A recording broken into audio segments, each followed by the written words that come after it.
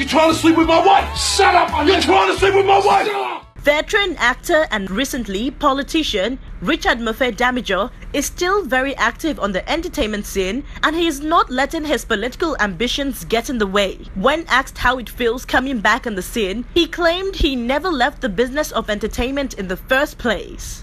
I, I, I never left. I just I just took a break, you know. But it's always good to be back. It's my happy place. He went further to speak on what Nigerians should expect from him in the days to come. You're already watching Hush, right?